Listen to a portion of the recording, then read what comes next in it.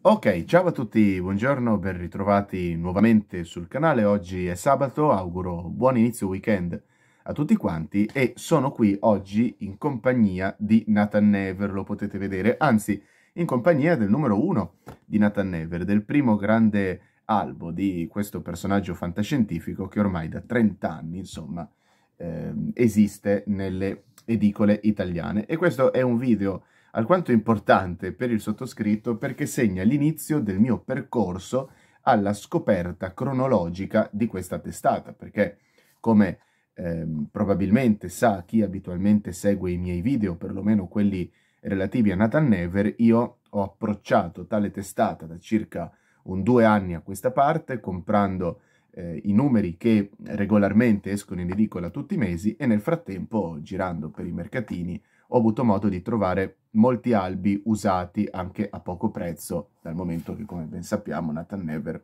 è un fumetto eh, che mh, mm, si può trovare davvero a, a pochissimi centesimi addirittura. Nell'usato li trovate, eh, se avete fortuna, insomma, a neanche un euro l'uno. Per cui, insomma, è una testata relativamente semplice da trovare. Ma non l'avevo mai ehm, approcciata in ordine cronologico, quindi mi ero eh, limitato, diciamo così, a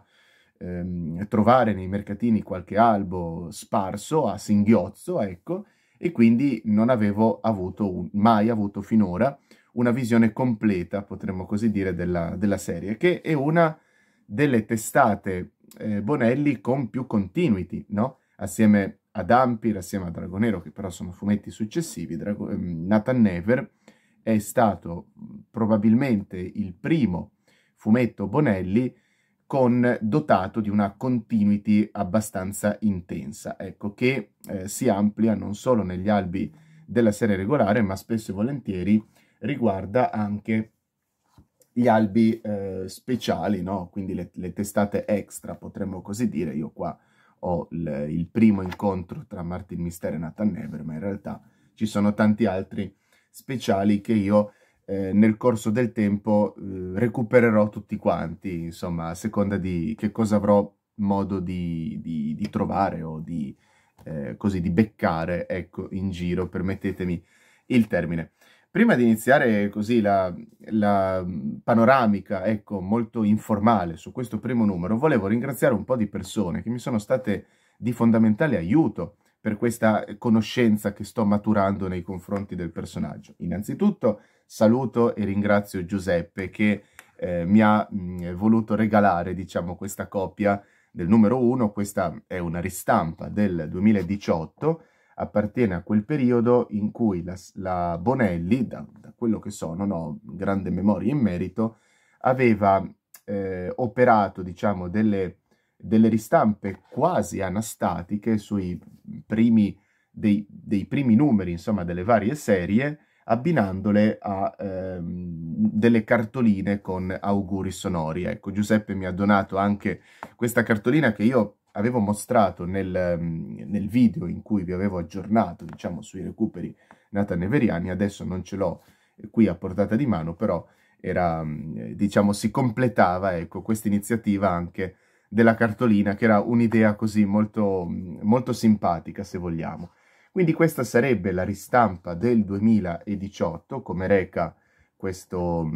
questo strillo, potremmo così dire, questa fascia, ecco, in copertina, assomiglia un po' alla fascia dei bis, no? che abbiamo avuto eh, così in, in edicola quest'estate, e tra l'altro proprio il bis di Nathan Never si va effettivamente un po' a reinserire in, eh, in quest'albo, ci sono delle citazioni, io infatti questo inizio con eh, Nathan Never mm, e Kliman, che si scopre poi nel corso di questa storia essere un ricordante, mi ricordavo appunto di questa, di questa, introduzione perché grosso modo era stata citata nel bis di Nathan Never. Qui peraltro compare un personaggio, Ishimori, che appare effettivamente anche nel, nel bis, ecco, quindi a me lì risultava completamente sconosciuto, qui ehm, ci ho capito qualcosina in più perché ho, ho, finalmente compreso da dove derivasse l'ispettore Ishimori, che poi insomma sembra addirittura far parte della Yakuza, quindi sembrerebbe un, eh, non proprio un, ispe- un, ispettore limpido e cristallino, potremmo così dire, che comunque compare in questo primo grande numero di Nathan Never. Ma oltre a Giuseppe voglio ringraziare anche Alex che è eh, già proprietario adesso di un canale YouTube dedicato alla celebre cantante Lisa Stanfield, ma che insomma presumibilmente da quanto ci ha ehm, anticipato ecco, a, a me e a qualche altro amico presto si lancerà anche lui eh, nel, nell'idea, diciamo, di un canale YouTube incentrato sul mondo natanneveriano e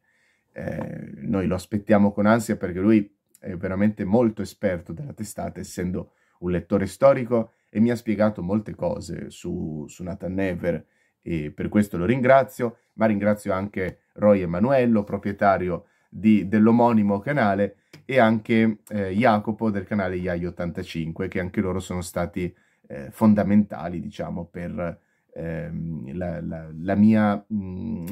il mio appassionarmi, ecco, alla testata di Nathan Never e anche semplicemente Mad Mitch, anche lui grande lettore di Nathan Never e tanti altri, per cui mh, mm, nonostante eh, si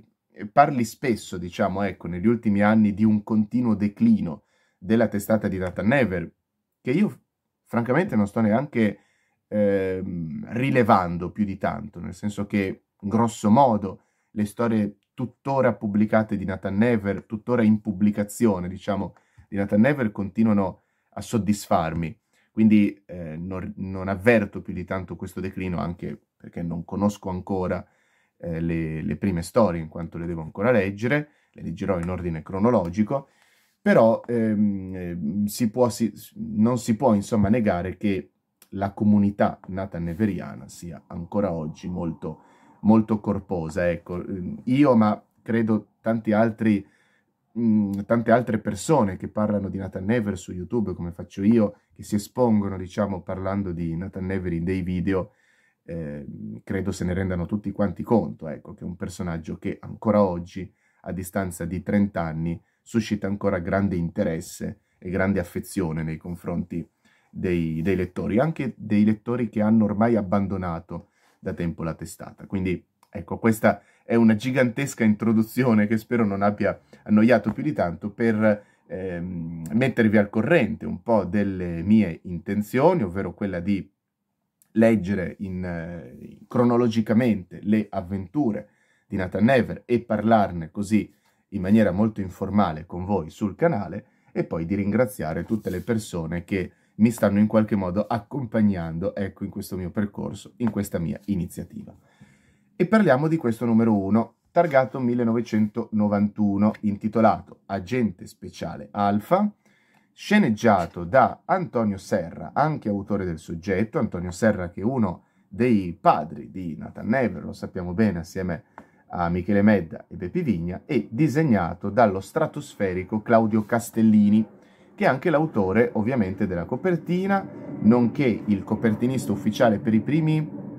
50-52 numeri, un qualcosa del genere di Nathan Never, forse un pochino di più, se non ricordo bene, 52-56 numeri giù di lì,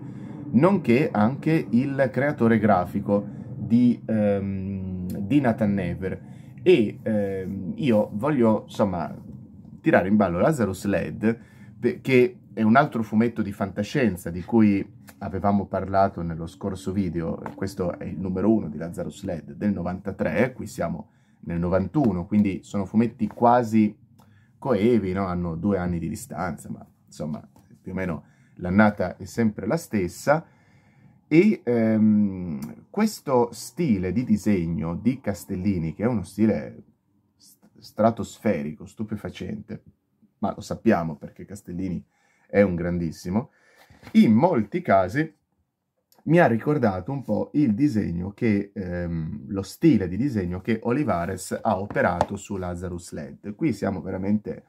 a delle, insomma, guardate questo, questo tratto, no? Operato da Olivares, questo è il tratto, è il volto, perdonate, di, ehm, di Lazarus LED, secondo me si si assomiglia con lo stile di Castellini. Io vi trovo magari un primo piano, ecco, to, di, Nathan Never, secondo me c'è un, eh, una qualche similitudine, ecco, si, eh, si associano secondo me questi, questi, due stili, questi due tratti, anche se ovviamente parliamo di due grandissimi maestri del fumetto, insomma da una parte c'è Claudio Castellini, ma dall'altra c'è comunque Giancarlo Olivares, per cui voglio dire siamo su altissimi livelli e sono due, sono entrambi due fumetti di fantascienza, due grandissimi numeri uno nel caso di questo primo numero di Nathan Never, questo ho scoperto leggendo in rete che in realtà eh, doveva essere la seconda storia di Nathan Never, un po' come è successo per la testata di Mr. No. Il primo numero di Nathan Never in realtà doveva essere il monolito nero, che poi è uscito come eh, secondo albo della testata, che infatti io non l'ho ancora letto, disegnato da Bonazzi, se non vado errato, scritto da tutti e tre gli sceneggiatori, tutti, tutti e tre i padri di Nathan Never e non dal solo eh, Serra come questo albo, doveva essere l'albo d'esordio. Questo perché si temeva che Castellini, il disegnatore di questo numero, non riuscisse a terminare in tempo le sue tavole. Castellini poi riuscì a portare a termine il lavoro e quindi venne pubblicato per primo questo agente speciale alfa, che a tutti gli effetti è diventato il primo grande numero di Nathan Never e ehm, voglio, parlando subito della veste grafica, potremmo così dire, voglio subito farvi vedere insomma eh, la magnificenza di Claudio Castellini già solo nel disegnare queste vignette. Perché, insomma, voi dovete immaginarvi nel 91, quando ovviamente non c'era ancora la tecnologia eh, tale da poter disegnare in digitale, no? e quindi da poter eh, non semplificare, ma velocizzare il lavoro, Castellini ha dovuto disegnare, insomma, a mano, potremmo dire, tutte queste architetture, peraltro inventate, no? dal momento che si parla di fantascienza, quindi non di un qualcosa di, eh, di reale, diciamo, di tangibile, ecco. Per cui pensare che Castellini sia riuscito a realizzare queste tavole fantastiche, guardate questa splash page, no? Con ehm, che reca anche il titolo di questa storia dopo questo prologo che dura una quindicina abbondante di pagine, in cui appunto a Nathan Never sfugge questo ricordante di nome Kliman, ed è una splash page, è un'immagine veramente strepitosa, fantastica, che ci indica tutto il, il, meraviglioso talento di questo disegnatore e insomma vi faccio vedere anche solo in questa vignetta eh, disegnare tutta questa, eh, questa, architettura, questo particolare soffitto, è un, un'impresa quasi titanica. Ecco, per cui eh, questo per dire no, che noi molto spesso leggiamo queste vignette nel giro di qualche secondo e poi passiamo oltre, ma io immagino quanti, quante ore di lavoro abbiano tirato via realizzare questa singola vignetta. E qui in, questa, eh, in, questo, in questo numero non c'è una tavola che non risulti interessante. Ecco, tutto il, il meglio di Castellini, che peraltro ehm, è alla sua prima e unica prova, da quello che ho capito, sulla serie regolare di Nathan Never, in quanto ne è stato copertinista, ma effettivamente disegnatore all'interno degli albi lo è stato soltanto per questo numero. Ed è un lavoro perfetto, guardate anche i character design, no? potremmo dire, dei, dei, vari personaggi. Qui c'è questo eh, androide chiamato C09 che eh, risulterà testimone, diciamo, della vicenda in questione, che poi accompagnerà Nathan nel corso della sua indagine per fermare eh, questo, mm, questo, ricordante di nome Kliman che, ha, che si è fatto impiantare, potremmo dire così, nel cervello dei, dei dati molto pericolosi che ehm, potrebbero, eh, potrebbero, servire per eh, spingere, diciamo, verso un'eventuale ribellione le macchine elettroniche. Questo Kliman sta agendo per conto di un, eh, un, eh, un, energumero, insomma, a capo di una setta religiosa, con il quale poi Nathan giungerà alla fine dell'albo alla resa dei conti finale, con questo eh, bellissimo scontro dove Castellini esalta tutto il suo dinamismo e questa è un po' la, la trama, potremmo così dire, di questo primo numero di, di Nathan Never, che funge un po', secondo me, da pretesto per inquadrarci non soltanto le eh, le ambientazioni, gli sfondi, gli scenari eh, di, mm, di questa storia, ma secondo me risulta anche perfetto questo primo numero per ehm,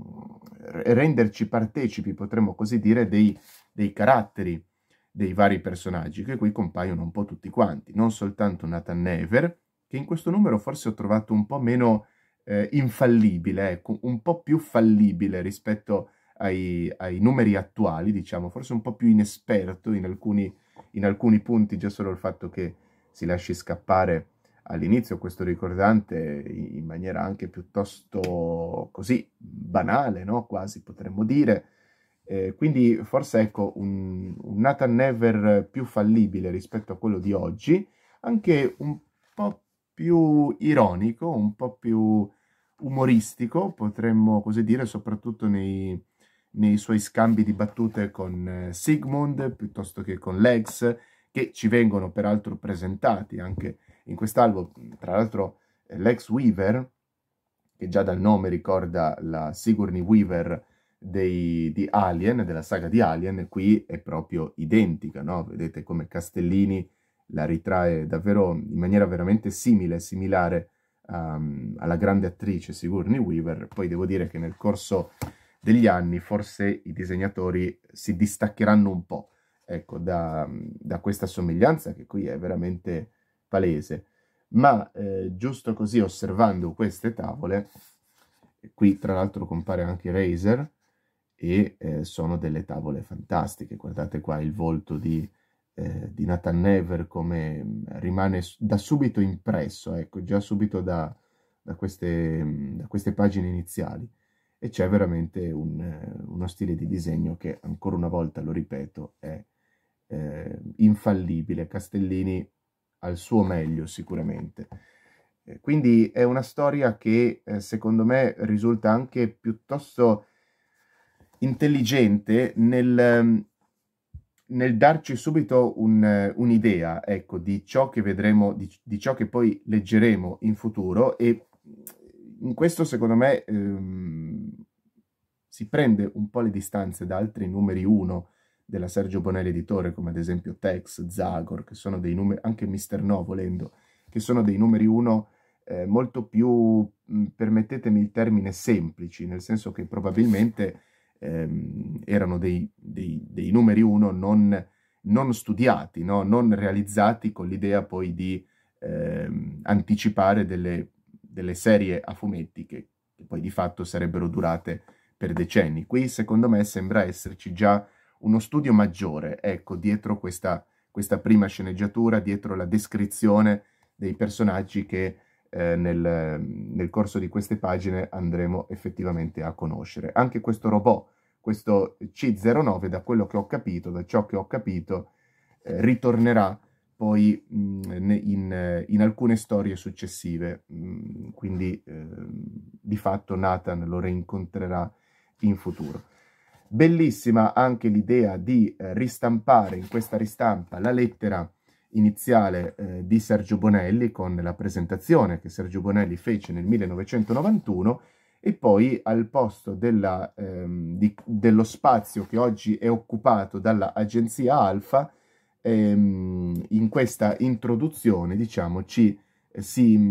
eh, si, si, immagina un articolo del, del, City News, quindi di un giornale locale al servizio di, del cittadino, parla Edward Reiser, direttore dell'agenzia Alfa, e attraverso una, ovviamente un'immaginaria eh, intervista, ci viene un po' spiegato il ruolo dell'agenzia Alfa, che di, di fatto si distacca mh, in parte dal, dai servizi di polizia, ecco, che scopriamo essere anche abbastanza corrotti in questo, mm, in questo immaginario futuro in cui si ambienta la, mm, la, serie di Nathan Never, per cui è efficacissimo anche e ci dà eh, da subito l'idea ecco, di, di, ciò che poi noi andremo effettivamente a leggere, no? perché tutto quanto ruota attorno all'agenzia Alfa per la quale eh, Nathan Never lavora. Ancora una volta vi mostro qualche tavola di Claudio Castellini, volevo farvi vedere, ma mi è sfuggita, volevo farvi vedere queste bellissime anatomie femminili veramente fantastiche. Castellini nel, nel disegnare le figure umane è insuperabile e ehm, vi voglio mostrare anche l'utilizzo di retini, ecco, che mi hanno colpito. In questo numero sono veramente eh, frequenti i mh, retini che, che, Castellini usa per dare un po' più di eh, profondità, potremmo dire, no? ai, ai disegni. Guardate qui, ma anche qui, qua, insomma, eh, c'è un utilizzo veramente ehm, frequente, ecco, dei, dei retini per separare anche i piani. Vedete qui come vengono utilizzati per evidenziare la, la vetrata e quindi separare i, i vari piani. Bene, io penso così di avervi detto tutto quello che mi sentivo più che altro di dirvi riguardo a questo nu primo numero di Nathan Never che è sicuramente bellissimo con questa prima iconica copertina che secondo me non è neanche fra le migliori di Castellini a livello grafico, però è una copertina che ha fatto, che ha fatto la storia, ma che se messa in confronto, ecco, con altri insomma, capolavori che ha fatto Castellini, perché Castellini su Nathan Never ha realizzato veramente dei, dei capolavori estremi che vengono ricordati con, con, ehm, con affetto anche, anche, oggi, nonostante siano cambiati due copertinisti, nel frattempo Roberto De Angelis e ehm, Sergio Giardo attualmente, tutte e due bravissimi, però